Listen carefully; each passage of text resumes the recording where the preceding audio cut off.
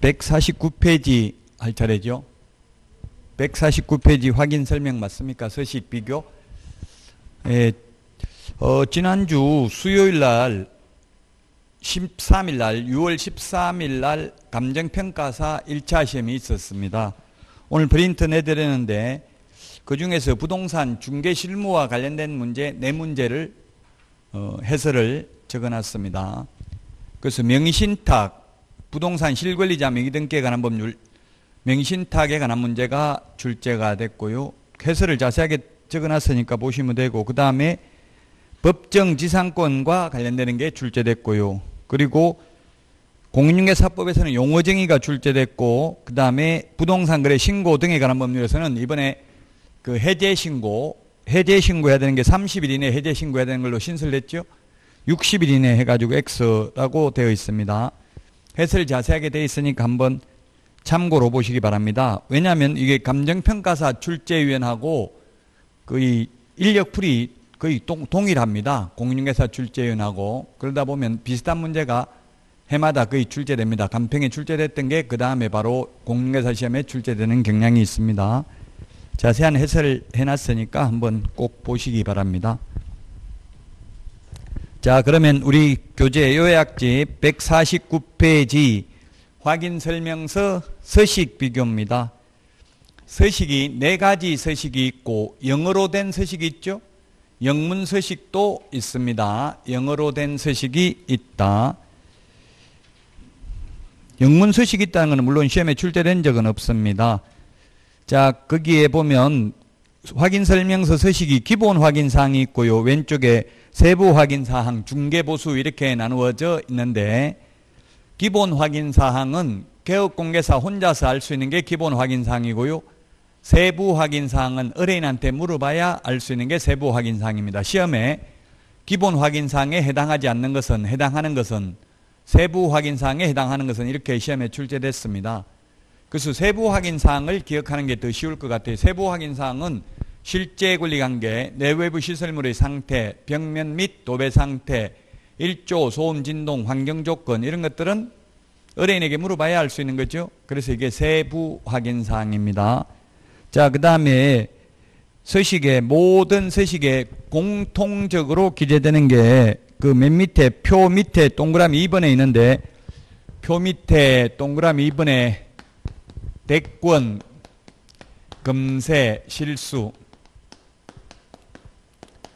대권 잡으면 금세 실수를 한다. 그래서 대상 물건의 표시, 권리관계, 거래 예정 금액, 그 다음에 취득 관련 조세의 종류 및 세율, 실제 권리관계, 중개 보수 산출 내역입니다. 149페이지 표 밑에 동그라미 2번에 있죠. 자, 그래서 그걸 서식의 메뉴에 보면 1번 대상 물건의 표시 동그라미 하시고 그 다음에 2번 권리 어, 권리관계 동그라미 하시고요. 그 다음에 거래 예정금액 7번 동그라미 하시고 그 다음에 8번 취득 관련 조세 9번 실제 권리관계 동그라미 하시고 그 다음에 13번 중개보수 이렇게 여섯 가지는 모든 서식에 공통적으로 기재되는 사항입니다. 여섯 가지는 자, 그 다음에 다시 그러면 서식 메뉴의 대상 물건의 표시, 내진 설계 적용 여부와 내진 능력 이것은 1, 2의 서식에만 해당되고 3, 토지는 3이 토지죠. 1이 주거용, 2가 비주거용, 3이 토지, 4가 임목, 광업재단, 공장재단입니다. 그래서 내진 설계는 1, 2의 서식만 해당되지 토지에는 건물이 없으니까 내진 설계 적을 필요 없겠죠. 이 내진 설계 적용 여부와 내진 능력은 건축물 내장을 통해서 확인합니다. 그런데 간혹 건축물 내장에 기재되지 않은 것도 있더라고 기재되어 있지 않는 것도 그래서 건축물 내장에 기재되어 있지 않는 경우에는 기재사항 건축물 내장에 기재사항 없음 이렇게 적어야지 공란으로 남겨두면 그 자체가 확인 설명서 작성 위반입니다. 무조건 공란이 있으면 안 됩니다. 자, 그 다음에 권리관계인데 권리관계 중에서 민간임대 등록 여부를 체크하도록 되어 있는데 민간임대 특별법에 의한 민간임대주택인지 여부는 임대주택 정보 체계를 통해서 확인합니다. 임대주택 정보 체계가 뭐냐 하면은 렌트홈입니다. 렌트홈. 여러분들이 지금 인터넷으로 다음이나 네이, 네이버에 렌트홈을 한번 치보시기 바랍니다. 렌트홈. 렌트홈이라고 한글로 치면은 이 임대주택 정보 체계가 되겠습니다. 렌트홈이. 여기에 들어가면 민간임대주택에 해당하는지 여부를 지번만 치보면 다 확인할 수 있습니다. 알 수 있습니다. 그래서 민간임대주택 특별법에 의한 민간임대주택인지 여부를 확인해서 기재를 합니다. 자, 그 다음에 토지이용계획 공법상 이용제한 거래 규제인데요. 이것은 임목, 광업재단, 공장재단 해당 사항이 없고 금폐율, 용적률 상한은 시군 조례를 보고 기재하고 기타 토지이용계 확인서 내용을 확인하여 기재를 합니다. 자, 그 다음에 4번 입지 조건인데 입지 조건은 역시 시험에 출제가 되었었는데 입지 조건은 1의 서식, 2의 서식, 3, 4의 서식이 있습니다. 이런 입지 조건은 도대주,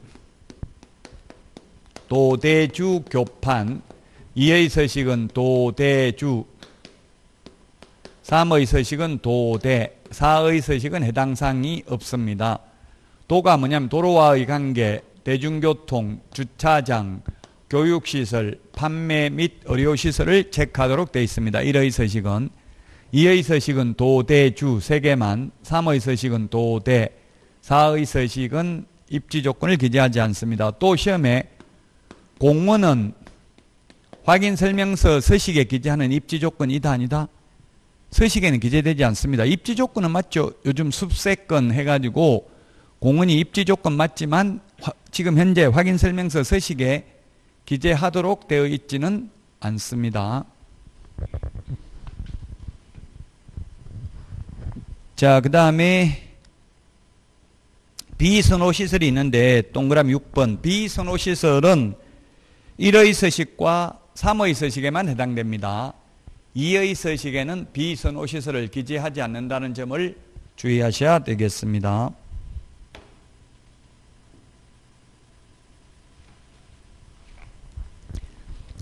비선호 시설이 뭔지는 구체적으로 적시되어 있지 않습니다. 호불호는 개인 취향에 따라 다를 수 있죠.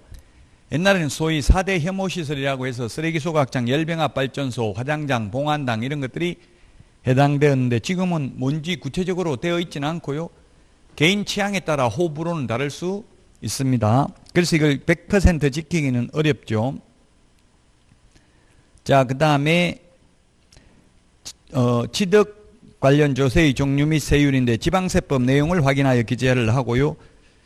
재산세도 6월 1일 소유자가 납부해야 된다는 것도 기재되어 있습니다. 자, 그 다음 실제 권리 관계는 등기부에 나타나는 것은 동그라미 2번 권리 관계에 기재하고 등기부에 나타나지 않는 법정지상권, 그 다음에 유치권, 등기 안 된 임차권, 조각물, 정원수, 경공매 사항이 있으면 경공매 신청 기입 등기되어 있으면 이런 것들을 기재합니다. 자, 그 다음에 내외부 시설물의 상태에서는 세부사항 보면은 제 9번 실제 권리 관계부터는 세부 사항입니다. 10번에 보면은 1의 주거용에는 소방에 보면 단독 경보형 감지기를 기재하도록 되어 있습니다. 다만 단독 경보형 감지기는 아파트는 제외합니다. 아파트를 제외한 주택의 경우에만 작성합니다. 그 다음에 2의 서식 이의 서식은 소화전 비상배를 기재합니다. 단독 경보형 감지기를 기재하는 게 아니고요. 단독 경보형 감지기는 1의 서식만 해당되는데 아파트는 제외한다. 자, 그 다음에 벽면 및 도배 상태인데 1의 서식은 벽면 및 도배 상태를 모두 기재하는데 2의 서식에는 벽면만 기재하고 도배는 아예 기재하지 않습니다. 지금 우리 학원 건물도 보면 도배가 안 돼 있잖아요. 그래서 도배는 이해 서식에는 기재하지 않습니다. 그 다음에 환경 조건입니다. 12번. 환경 조건은 1의 서식에만 기재합니다. 1소진입니다. 1조 소음 진동이 되겠습니다. 1조 소음 진동. 1조량 소음 진동 요건 1의 서식에만 기재합니다. 그 다음에 중개보수 및 실비 산출 내역은 중개보수 지급 시기를 기재하도록 2020년 2월 21일부로 개정됐습니다. 그 서식을 뒤에 서식을 바로 한번 서식을 넣어놓은 이유는 기본서 서식하고 다르다는 이야기입니다. 개정됐다는 이야기입니다. 150페이지 메뉴에 보니까 2020년 2월 21일 개정됐다고 돼 있죠. 기본서 나오고 나서 뭐가 개정됐냐 하면은 동그라미 2, 번 기본서하고 다른 점입니다. 동그라미 2번에 민간임대 등록 여부에 보면 두 번째 줄에 해당 사항 없음이라고 있죠. 해당 사항 없음 이게 신설됐습니다. 왜 신설됐냐면 이걸 옛날에는 해당 사항 없음 체크할 곳이 없습니다. 그럼 해당 사항 없으면은 어디다 체크하냐고 체크를 안 하면 전자계약서를 적으면 다음 페이지를 다음에 입력을 할 수가 없어요. 앞에 빈 칸이 있으면 다음 칸이 입력이 안 된다고요. 그래서 이제 해당 사항 없다는 걸 체크를 해야 다음 칸에 입력을 할 수 있는 거예요. 그래서 해당 사항 없음을 신설했고요. 그 다음에 151페이지 동그라미 8번 취득시 부담할 조세 및 참고로 보면 6월 1일 기준 대상 물건 소유자가 납세 의무를 부담한다 재산세 이게 물론 올해 신설된 건 아니지만 최근에 신설됐습니다. 재산세는 취득 관련 조세는 아니죠. 그럼에도 불구하고 분쟁이 많이 생기니까 여기다가 기재를 해놨다고요. 재산세. 는 6월 1일 하루만 가지고 있으면 1년분 세금을 다 내야 된다. 그 다음에 152페이지 중개보수 및 실비 금액과 그 산출 내역에 보면 13번에 지급 시기를 기재하도록 신설됐습니다. 지급 시기. 지급 시기 밑줄 치놓으세요. 올해 신설됐습니다. 지급 시기가 옛날에는 없었습니다. 중개보수 지급 시기 옆에 보니까 참고 표시 그 참고 표시 맨 마지막에 보니까 부가가치세는 별도로 부과될 수 있습니다. 이렇게 돼 있죠? 그 밑줄 치세요. 중개 보수가 100만 원이면 일반 과세 사업자라면 부가가치세 10만 원, 간이과세 사업자라면 부가가치세 3만 원 추가로 더 받아도 된다는 이야기입니다. 공인회사법 위반이 아니란 이야기입니다. 자, 그 다음에 그 밑에 거래 당사자, 매도인, 매수인, 임대인, 임차인은 서명 및 날인하는 게 아니라 서명 또는 날인합니다.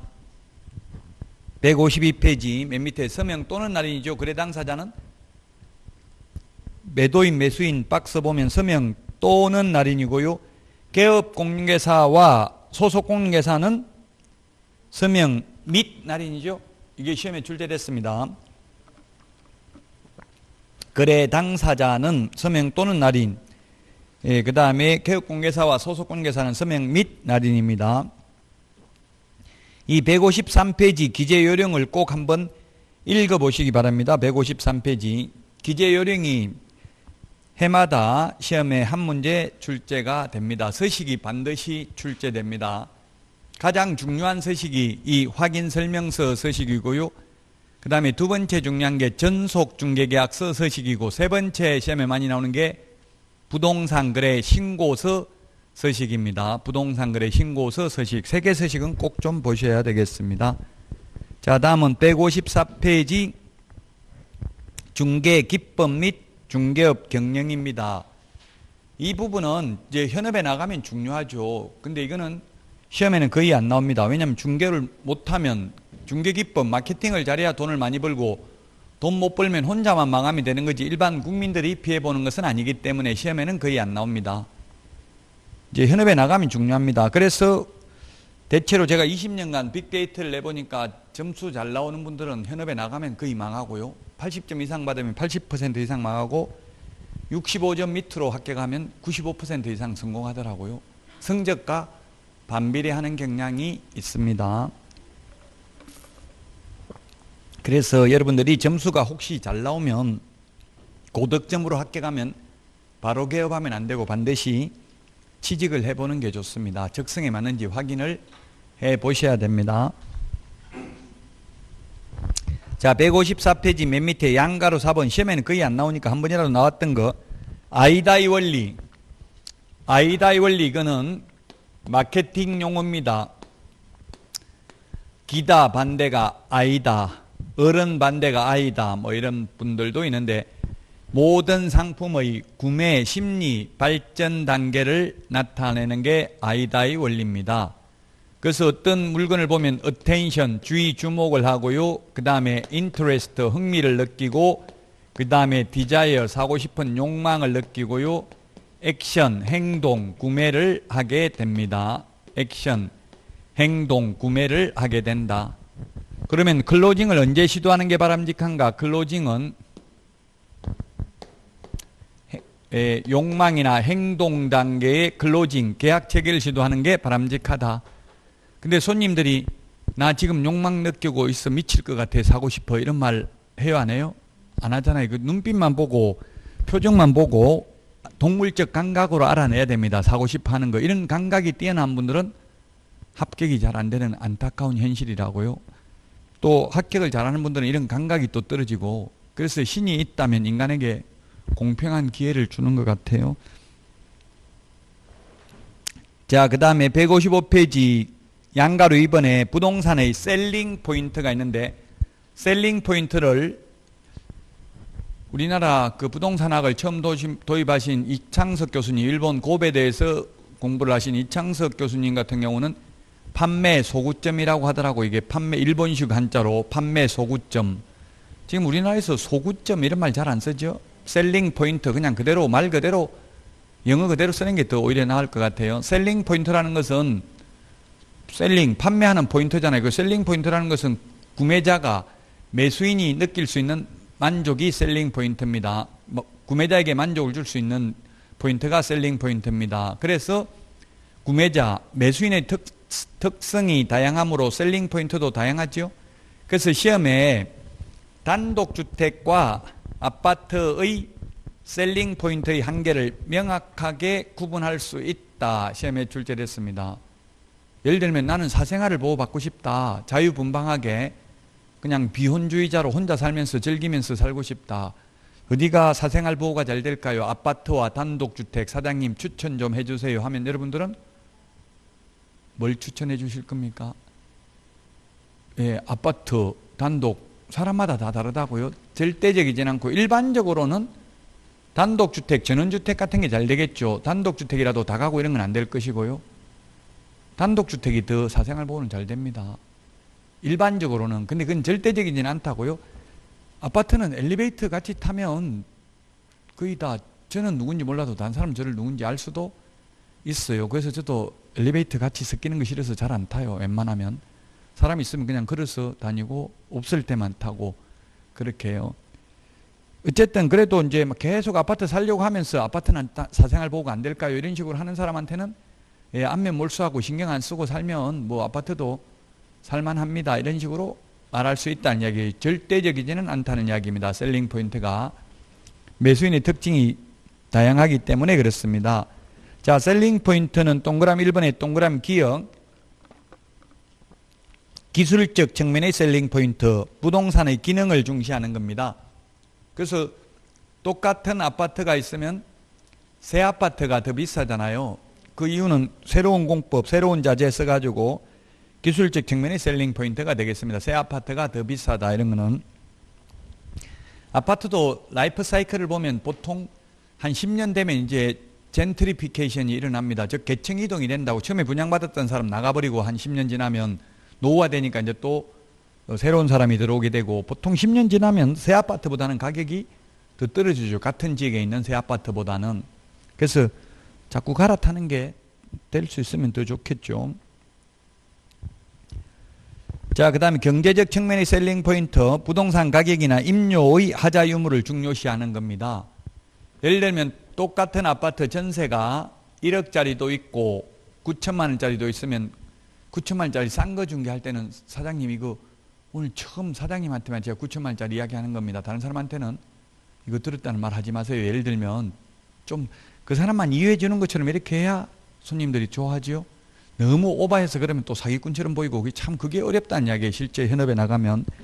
근데 그런 거는 실무 경험을 이제 실제 좀 고객을 많이 만나보는 게 좋겠죠. 어쨌든 싸다는 걸 강조하는 게 경제적 측면의 셀링 포인트라고요.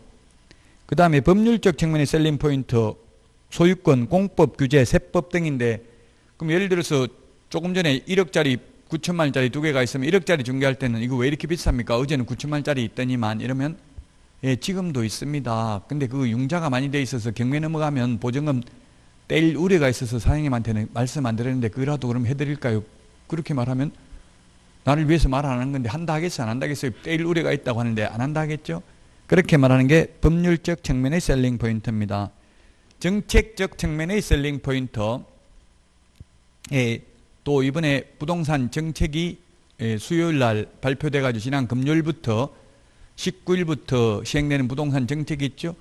그런 정책적 측면의 selling point도 가격에 영향을 많이 미칩니다. 이번에 뭐 대출 규제 뭐 이런 것들 그다음에 법인 법인들 대출 이제 임대사업자나 이런 분들 대출 전면 금지하고 이런 것들이 예, 정책으로 나왔습니다. 그 정책도 셀링 포인트가 될 수 있다. 요 정도가 시험에 출제됐습니다. 자, 그 다음에 156페이지 거래 계약의 체결입니다.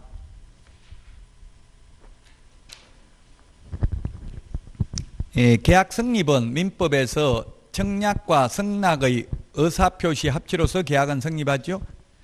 그래서 계약서 작성이 계약 성립 요건은 아닙니다. 당사자 간의 청약과 승낙의 의사표시만 있으면 됩니다. 그래서 민법에서는 민법 시험에 반드시 문서로 하여야 한다, 서면으로 해야 된다 하면 무조건 X입니다. 민법 시험에는. 그런데 우리 공인중개사법에서는 반드시 서면으로 해야 되는 게 굉장히 많이 있습니다. 우리 공인중개사법에서는 반드시 계약서를 문서로 작성해야 됩니다. 작성 안 하고 말로만 해도 민법상 계약은 성립하지만 효력은 있지만 분쟁이 생길 가능성이 많잖아요. 그래서 공인중개사법에서는 반드시 문서로 작성하라고 돼 있고요. 작성 안 하면 업무 정지 사유에 해당됩니다. 일단 계약서 작성을 안 하면 2번 계약서 작성 요령입니다. 계약서 서식인데 계약서는 법정 서식이 없습니다. 국토교통부 장관이 표준 서식을 정해서 그 사용을 권장할 수 있습니다. 지금 현재 권장하는 서식도 없습니다. 자, 그래서 법정 서식 없는 것 시험에 출제가 되었었는데요. 법정 서식. 법정이라는 것은 법령에 규정된 서식을 법정 서식이라고 합니다. 법정 서식 없는 것입니다. 첫 번째 거래계약서 거래계약서 법정서식 없고요. 그 다음에 금인계약서 법정서식 없습니다. 그 다음에 왠지 있을 것 같은데 서식이 없는 게 공동사무소 설치 신고서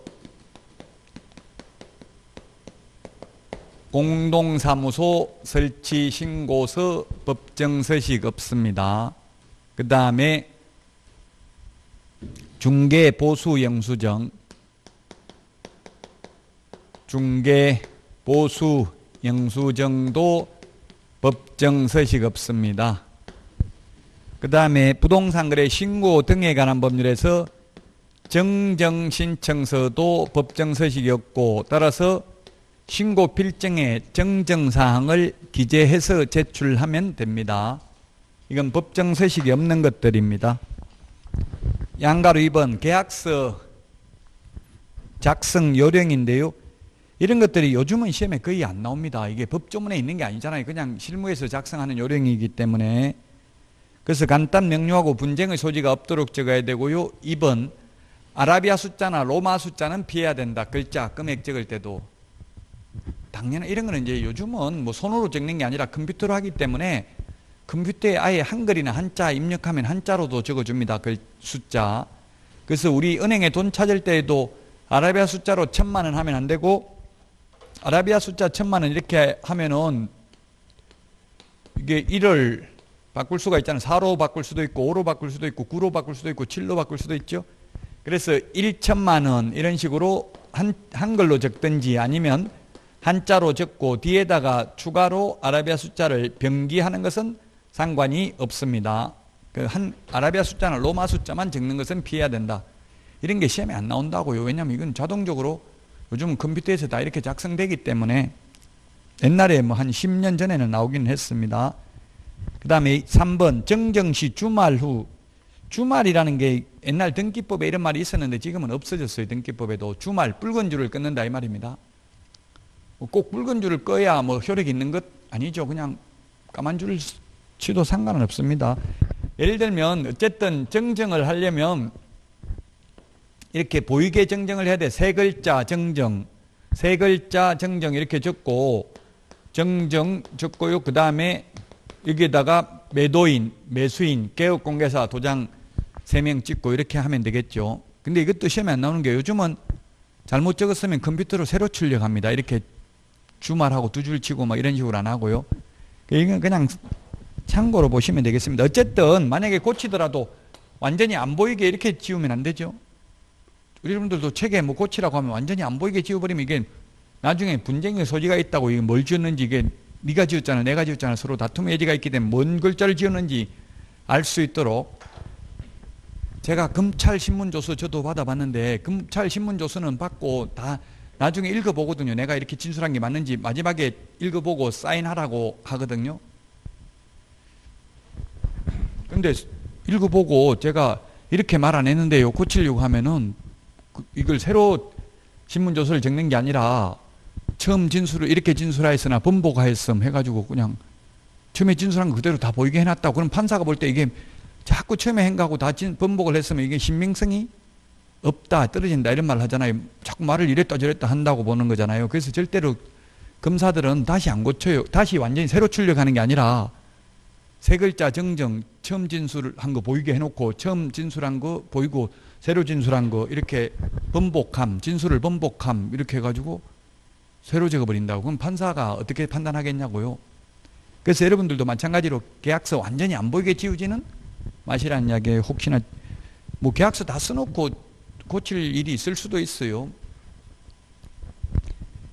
예를 들면 요즘은 주소 같은 거에 정확하지 않으면 확정일자 도장을 안 찍어주거든요 동주민센터에서 주소를 잘못 적으면 그 조심해야 돼 주소 잘못 적어가지고 다시 매도인 매수인 뭐 또는 임대인 임차인 나오라고 하면 짜증내잖아요 나와가지고 또 하면은 그 나중에 중개보수 받기 힘들겠죠. 너 한 게 뭐 있냐? 귀찮게 받게 되냐? 이런 식으로 나올 수 있어요. 그러니까 반드시 주소는 네이버나 뭐 다음에 이렇게 도로명 주소 이런 거 치면은 다 변환이 되도록 돼 있어요. 집원 주소하고 우리 계약서 적을 때는 주소를 두 번 적어요. 도로명 주소와 집원 주소를 물건의 표시를 적을 때는 집원 주소를 적고요. 그 매도인 매수인 인적 사항 적을 때는 또 도로명 주소를 적어요. 그러니까 그게 맞는지 정확하게 변화를 해가지고 확인해 봐야 돼요. 저도 지금 집 주소를 도로명 주소밖에 몰라요. 두 개 다 암기하기가 힘들더라고. 옛날에는 그냥 집원 주소니까 집원만 알았는데 요즘은 도로명으로 다 하니까 그 두 개 다 알고 있는 사람이 잘 없더라고요. 현업에서 계약서를 써보니까. 자, 그 다음에 동그라미 3번 간인. 간인 찍는 거 예를 들면 계약서가 여러 장이면 반 접어가지고 간인은 연결된 문서라는 걸 나타내기 위해서 반 접어가지고 이렇게 도장 찍는 거 있죠? 앞페이지, 뒷페이지 반 접어가지고 이게 간인입니다. 물론 간인 안 찍었다고 그 계약이 무효가 되는 것은 아니죠. 그 다음에 4번 인지첨부. 인지세라는 게 있어 인지세. 우표처럼 인지세를 붙이잖아요 계약서에. 등기할 때 그 인지가 안 붙었다고 해서 계약이 무효는 아닙니다 인지세. 인지세가 10억 넘으면 35만 원 1억부터 10억까지는 15만 원입니다 인지세가. 그 우표처럼 붙입니다. 이런 게 시험에 요즘은 잘 안 나옵니다. 어쨌든 계약 효력에 영향을 미치지 않는다. 계약 효력은 청약과 승낙의 의사표시 합치로서 계약은 성립한다고요. 그 다음에 24시간 이내에 계약을 해제할 경우에는 계약금을 떼이지 않고 돌려받을 수 있다고 매수인, 거래 당사자에게 설명했다. 이게 시험에 두 번 출제됐습니다. 그런 말 없죠? 시험에 출제됐었다고요. 법조문에 없는데 대법원 공보관이 나와서도 이런 것까지 아예 언론에 발표하더라고 그런 법은 없다고요. 하루 24시간 안에 계약 해지한다고 돌려받는 거? 아닙니다. 그냥 계약금 줬다면 그 순간 못 돌려받습니다. 자, 그 다음에 계약서 기재사항 157페이지 그냥 거래계약서 기재사항이지 임대차 계약서, 매매 계약서, 교환 계약서 따로 구분되어 있는 게 아닙니다. 157페이지 맨 위 왼쪽에 있는 게 우리 암기 핵심 비교 정리 프린트 9번 오른쪽에 핵심 비교 정리 프린트 10번에 있습니다. 핵심 비교 정리 프린트 어디 있냐 이런 거 인터넷에 묻는 분 많은데 고급 자료실에 보면 업로드 되어 있습니다. 인터넷 듣는 분들은 자 157페이지 그 맨 왼 157페이지 왼쪽에 있는 게 우리 암기 프린트 9번에 있다고요. 9번 9번에 보면은 인물 계약금 인물 계약금 인권 조교 거래 당사자 인적 사항 물건의 표시 계약일 그 밖의 약정 사항 거래 금액 물건의 인도일 시 권리 이전 내용 조건 기한 확인 설명서 교부 일자 암기해야 됩니다. 이거는 자 암기가 중요합니까? 이해가 중요합니까? 아니 민법 그 지금 양창수 전 대법관 요즘 뭐 뉴스에 언론에서 좀 약간 논란의 대상이 되는 분이던데 어쨌든 그분이 서울법대 법학과 교수도 했는데 그분이 쓴 법학 공부 서문에 보니까 민법 암기가 중요하냐 이해가 중요하냐 둘 다 중요하다고 돼 있더라고요. 이제 공부를 잘하는 사람이 이게 암기해야 될 부분인지 이해해야 될 부분인지 그걸 판단도 안 되잖아요. 무조건 그냥 암기만 또 한다고 되는 것도 아니고 어느 정도 생각을 하면서 암기해야 되겠죠. 그래서 민법도 심지어 암기도 중요하다고요. 그럼 공인중개사법은 암기가 어떻게 보면 더 많습니다. 이해 이런 거는 그냥 단순히 암기해야 돼요. 근데 물론 생각해 보면 아 이거 계약서에 적어야 되겠다는 느낌은 들어요. 거래 당사자 인적상 적어야 되죠, 당연히. 물건의 표시, 이 물건의 표시를 적을 때는 지번 주소를 적는다고요. 소재지 물건의 표시 적을 때는 자, 그 다음에 그 10번에 보면 금융계약서 필요적 기재사항, 이것도 금융계약서 필요적 기재사항, 요거는 시험에 그렇게 자주 나오지는 않습니다. 부동산 등기 특별조치법이니까 당모가지, 개대가리, 중이 좋아한다. 당사자, 목적 부동산, 계약연월일, 대금 지급관계, 개업공개사, 조근 기한입니다. 이해를 바탕으로 하되 실제 시험장에 가서는 어느 정도 암기가 돼 있어야 돼. 그래야 바로바로 답을, 답을 할 수 있죠. 지금 여러분들이 모의고사 보고 점수 안 나와서 포기하려면 모의고사 안 보는 게 좋아요. 건강에. 모의고사는 지금 적정한 점수는 17.5점입니다. 제가 시험을 뭐 저는 8회 때부터 1995년부터 시험 봤는데 한 달 전에 모의고사 보고 17.5점 받고 한 달 후 본 시험에서 100점 받았어요. 그래서 모의고사 점수는 전혀 신경 쓸 필요 없고 뭐가 틀리는지 다시 확인해 보고 공부하는 게 중요한 거지. 지금 점수 잘 나오면 오히려 그건 고통이에요. 고통. 독약이에요. 독약. 양약은 고구이나 일이여 병이요 충언은 여기나 일이여 행인이라 이런 말이 있어요. 입에 약은 입에 쓴 게 좋다고 지금 다는 거는 그건 독배예요. 독배. 그래서 충고하는 말은 기에는 거슬리지만 행동에는 이롭다. 약은 입에는 쓰지만 몸에는 이롭다는 이야기죠. 그래서 지금 이로우려면 점수가 안 나오는 게 더 좋다고요. 포기만 안 한다면. 그럼 포기하려면 아예 모의고사 안 보는 게 좋아요. 모의고사 한 번도 안 보고도 합격 한 사람 있어요. 자기 멘탈이 약한 사람은 이거 점수 안 나오고 이렇게 왜냐면 지금 우리나라 시험 33만 명이 응시해가지고 2차 시험 보는 사람이 8만 명밖에 안 돼. 9만 명도 채 안 돼요. 3분의 2 이상이 중간에 다 탈락해 버린다고 그걸 자기 관리를 못 해가지고 점수 안 나온다고 포기해 버리고 이러니까 그런 자신감이 없는 분들은 차라리 모의고사 안 보는 게 건강이 좋을 수도 있어요. 물론 모의고사를 보고 검토를 해봐야 되는데 포기하려면 안 보는 게 낫다는 이야기입니다.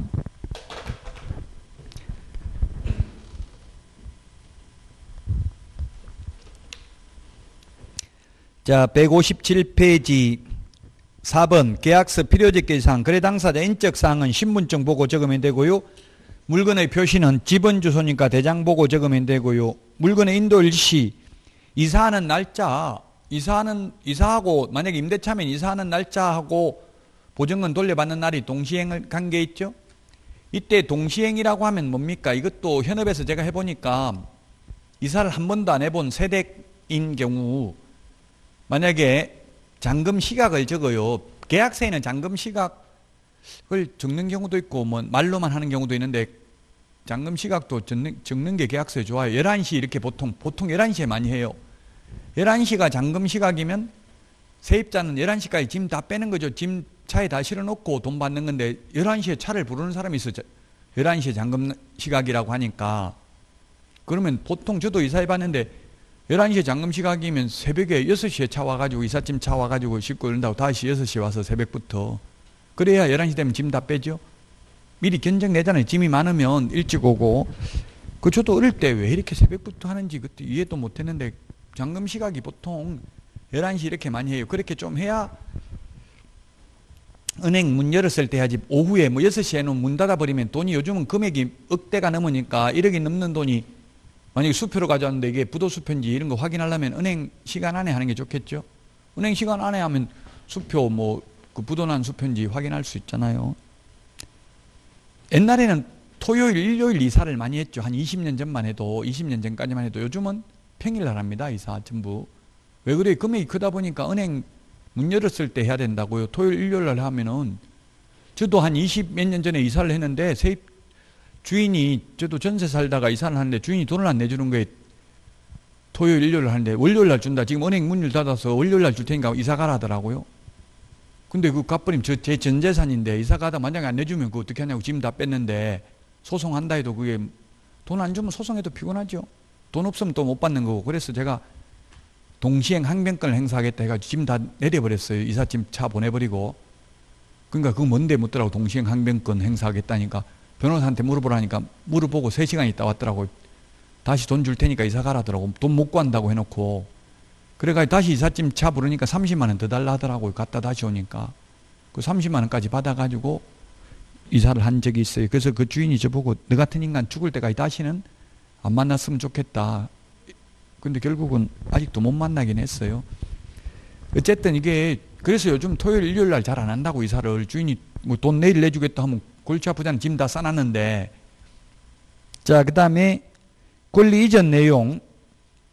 뭐 예를 들면 정원수, 정원석 이런 거 나무 뽑아갈 건지 이런 것도 적으면 되는데 굳이 의뢰인들이 말 안 하는데 개업공개사가 이 정원수 나무 뽑아갈 거냐 이런 물을 필요 없어요. 그냥 가만히 너무 그런 특약을 많이 내버리면 계약이 깨져요.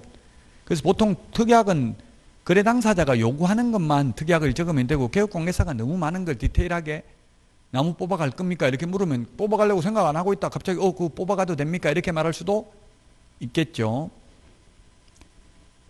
158페이지 거래 가격, 계약금, 중도금, 잔금 등을 명확하게 표시하고 지급 장소 및 지급 시기를 표시한다. 시험에 거래 금액은 계약금, 중도금, 잔금으로 나누어서 지급해야 된다. X로 출제됐습니다. 일시불로 다 주고 사도 되죠? 근데 현실적으로 저도 뭐 현업에서 일을 해보니까 일시불로 다 주고 사는 경우는 거의 없고요. 중도금을 안 주는 경우는 많더라고요. 임대차인 경우. 근데 가급적이면 중도금을 근데 지급하는 게 좋아요. 중간에 지급 못하면 중간에 오기 힘들다고 하면 그러면 아 지금 계약금 천만 원이면 계약금 500, 중도금 500으로 하기로 한다. 이렇게 특이하게 적으면 되겠죠. 왜냐하면 시세 변동이 심한 경우에는 계약이 깨지는 경우가 많아요. 예를 들면 계약금 천만 원 걸었는데 한 한 달 후에 잔금 치르려고 하니까 3천만 원 올라버리면 시세가 매도인은 깰려고 하겠죠. 2천만 원 더 받으면 되니까 계약금 100으로 물어주더라도 그래서 변동이 심할 경우에는 계약이 깨지면 현실적으로 개업공개사가 보수를 중개보수를 받기가 쉽지 않죠. 법적으로는 개업공개사의 고의가실 없이 무효 취소 해제돼도 받을 수 있지만 이론적으로는 현실적으로는 개업공개사 네가 사기쳤잖아 이렇게 하면 그걸 입증해야 되잖아. 내가 고의가실이 없다는 걸 쉽지 않잖아요. 그게 그래서 가급적이면 계약이 안 깨지게 하려면 이행의 착수에 해당되도록 중도금을 지급하는 게 바람직합니다. 자, 계약금은 증약금, 위약금, 해약금의 성질을 갖는데 통상 당사자 간의 약정이 없으면 해약금으로 추정합니다. 계약금은 거래대금의 통상 10%입니다. 법에 10%를 하회한다 이런 규정은 없지만 통상 10%고요. 판례는 10%를 초과한 과도한 계약금은 중도금으로 본다는 판례가 있습니다. 따라서 만약에 매매 대금이 1억인데 계약금을 5천만 원 지급했다면 1천만 원은 계약금이고 4천만 원은 중도금으로 본다는 이야기입니다. 자, 그 다음에 중도금, 동그라미 2번 중도금. 중도금은 이행의 착수에 해당되므로 일단 중도금을 지급하고 나면 원칙적으로 계약을 해제할 수 없습니다. 중도금을 지급하러 갔는데 사람이 없어서 만나지 못해서 중도금을 지급하지 못해도 이행의 착수에 해당된다는 게 판례입니다. 그럼 계약을 해지할 수 없다는 이야기입니다. 자, 잔금은 동시행 관계에 있는데 동시행이라고 하면 등기부에 등기관이 기재하는 것과 잔금 치르는 게 동시행인데 현업에서는 지금 선의행을 하고 있죠. 매수인이나 임차인이 먼저 돈부터 주잖아요. 등기 서류만 받고. 그래서 굉장히 위험하기 때문에 이제 에스크로우 제도, 계약금 등의 예치 권고 제도를 활용하라고 법에 되어 있고요. 미국 같은 데서는 이행 보증보험을 거의 다 가입을 합니다. 권원보험을. 근데 우리나라는 현실적으로는 거의 가입을 안 하고 있기 때문에 문제가 있는 게 많다고요. 어떤 게 문제가 있으냐면 최근에 뉴스에 나온 거 보면 갑이 남편입니다. 이게 부인이고요. 니코틴, 니코틴 살인 이런 거 치보면 나와요. 남양주에 있는 이 남자분이었는데 50대 남자분이었어요. 초혼이고 여자분은 재혼이었어요. 돌싱이었어요. 근데 이 여자분은 딸도 있더라고. 딸하고 같이 살았는데 니코틴 뭐 주사를 했는지 어떻게 했는지 남편 죽었어요. 집이 세 채인가 있었고 재산이 10억이 넘더라고요. 총각이었는데 50대인데 남양주인데 이게 천안에서 그 주말 천안에 있다가 주말 부부 주말에만 갔어요. 근데 이게 이 부인은 또 주중에는 다른 내연남하고 동거 생활을 하고 주말에만 또 이 남편하고 살고 있었어요. 그러다가 죽이고 죽이니까 살인을 했는데 이게 상속인이 자식도 없고 부모도 없고 아무도 없어요. 이촌까지는 형제간도 없고. 그래가 전부 상속받아가지고 이 어리 선의의 제3자 병한테 팔았다고요. 등기가 자기 이름으로 돼 있는데 그 팔았는데 이게 살인사건이 났다는 게 나중에 예, 법원에서 판결이 났어요. 검찰에서 밝혀내고 뭐 경찰이 수사해가지고 그러면 이게 살인을 하면 상속의 결격 사유에 해당되거든요. 상속이 될 수 없어요. 그러면은 이게 상속이 무효라고요. 결격 사유니까. 그러면 이 선의의 제3자는 소유권 취득해 못해요. 등기 공신력이 없으니까 취득할 수 없죠. 그래서 이 갑의 에, 조카가 뭐 조카가 상속 조카가 몇 촌이에요? 3촌이죠. 3촌. 상속 순위가 직계 비속 1순위, 직계 존속 2순위, 그 다음에 형제 자매가 3순위, 그 다음에 사촌 이내의 반계 혈족이 4순위거든요. 그래서 이 4순위인 이 사람이 진정명의 회복 등기 신청을 해가지고 병한테로부터 소유권을 넘겨받았어요. 그럼 이 사람은 병원 돈이 지금 수억 원 할 거 아니에요. 억대가 넘을 거 아니에요. 근데 돈은 돈대로 줬고 등기는 등기대로 뺏기버려도 이거 어디서 보호받을 수가 없어요. 그러면 이 사람을 을을 대상으로 소송해가지고 돈을 받아낼 수는 있지만 지금 감옥에 가 있다고 이거 지금 어른 징역 뭐 30년인가 무기징인가 받고 감옥에 가 있는데 받아내기 쉬워요 어려워요? 어렵다고 봐야 되겠죠. 그래서 이런 게 만약 이런 걸 중개했다면 개업공개사에게도 일부 책임이 있을 수 있어요. 만약에 이 을의, 을의 등기필 정보까지도 다 확인 완벽하게 했다면 책임이 거의 없지만 보통 현실적으로는 등기필 정보를 확인 잘 안 하죠. 그러면 개업공개사도 책임을 일부는 져야 된다고요. 그래서 우리나라는 등기 공신력이 없기 때문에 굉장히 위험하다는 이야기입니다. 158페이지 자, 우리 그 인감증명, 매도용 인감증명서 이런 거 유효기간이 몇 개월이다? 유효기간이 3개월입니다. 인감증명법상은 유효기간이 없는데 등기법 시행규칙 제62조에 의하면 매도용 인감증명서 매도용 인감증명서는 보면 매수인 인적사항도 기재되죠. 이런 것들은 유효기간이 3개월이다. 기타 약정사항 159페이지 이런 거는 시험에 거의 잘 안 나옵니다. 참고로 보시면 되겠습니다. 그냥 민법에서 배운 내용입니다. 다. 뭐 메뉴에 동그라미 1번 과실의 기속을 보면 예를 들면 지금 15일 날 잔금 치르는데 월세 들어오는 게 있다고? 이달 월세가 예를 들어서 100만 원 들어온 게 있으면 그 월세 누가 가져야 되냐? 매수인 매도인 중에서 월말에 들어온다고 15일 날 잔금 치르고 이러면 원칙적으로 이미 지나간 거는 매도인이 아직 남은 기간은 매수인이 받으면 된다고 50만 원 50만 원. 근데 그걸 굳이 특약으로 잔금 지급일이 속한 달의 차임은 매수인이 갖기로 한다, 매도인이 갖기로 한다 특약에 적으면 그 특약대로 하면 되겠죠. 근데 굳이 여러분들이 그 이달 월세는 누가 가질 겁니까? 이런 거 물을 필요 없어요. 그 물어가지고 괜히 계약 깨진다고 그것 때문에 돈 100만 원 때문에 싸우다가 자, 그 다음에 7번입니다. 양가로 7번, 159페이지 7번. 서명 및 날인하는 것은 계약서와 확인 설명서밖에 없다고 했죠? 그것도 개업공개사와 소속공개사만 서명 및 날인하고 그 외에 모든 서류는 서명 또는 날인이고요. 계약서와 아, 확인 설명서에도 거래 당사자는 서명 또는 날인하도록 입법화되어 있습니다.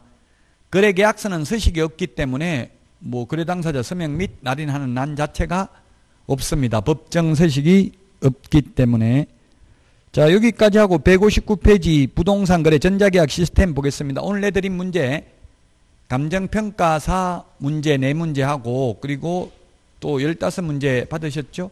문제 풀어보시고 쉬었다가 하도록 하겠습니다.